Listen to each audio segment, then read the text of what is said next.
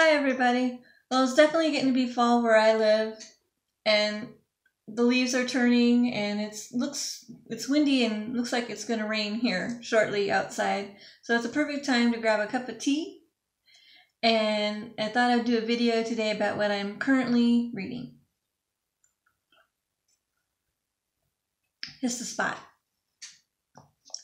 And what I'm currently reading is My Cousin Rachel by Daphne du Maurier. I'm pretty sure I picked this up at my local library book sale. And um, so far, I'm I'm enjoying it. I've read uh, Daphne du Maurier's most famous um, work, uh, Rebecca. I've also read Frenchman's Creek and Jamaica Inn.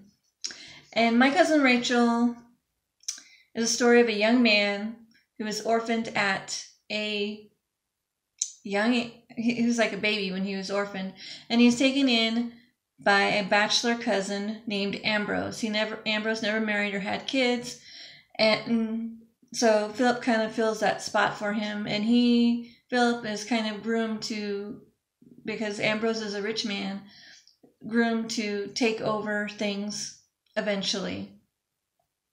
And as ambrose gets a little bit older he has health problems um, and his doctor suggests that he needs to go to um, warmer climes to to help him. And he goes to Italy and he meets this woman named Rachel. And shortly afterwards, Ambrose dies. And Philip is very um, upset and he wants to know what happened.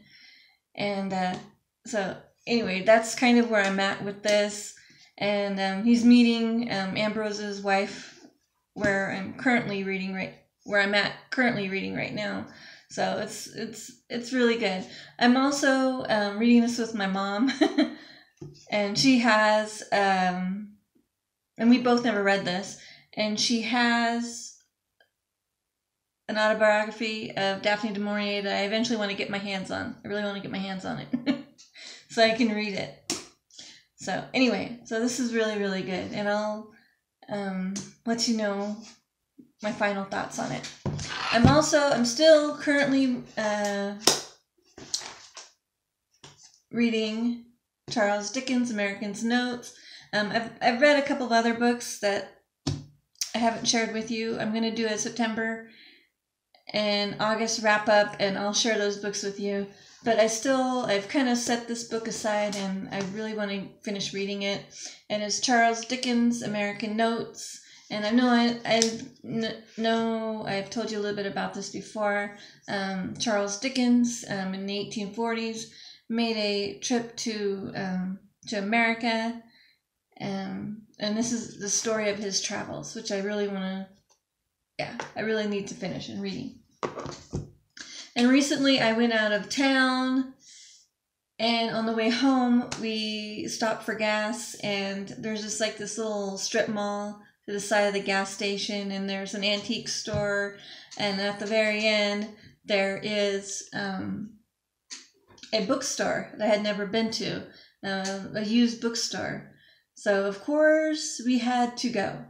there was no yeah yeah we yeah we had to go. and of course, I had to pick up a couple of books while I was there.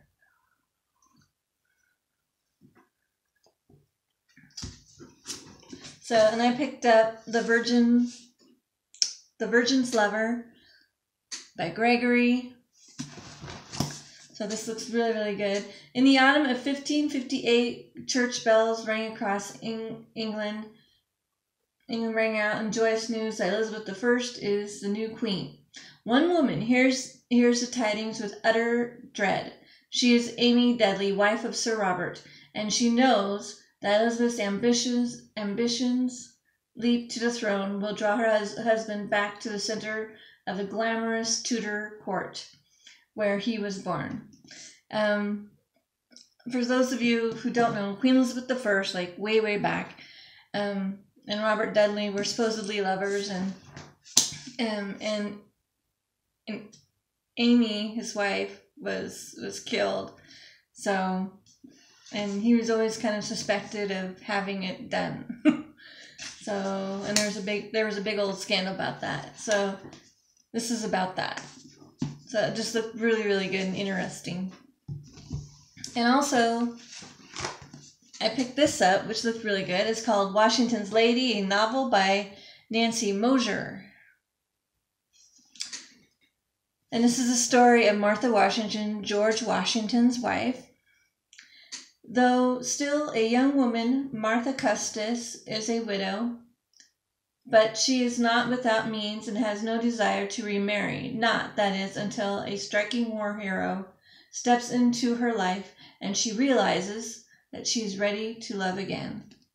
So this is this really sounded really really good. So I'm hoping to get to these soon. And I think that is it for now. Thank you so much for watching. Um, I should have another video up. Um, I'm going to do a September and August um, wrap up video. I didn't do one for August, so so I'll do that. And then um, a, an October TBR. So video.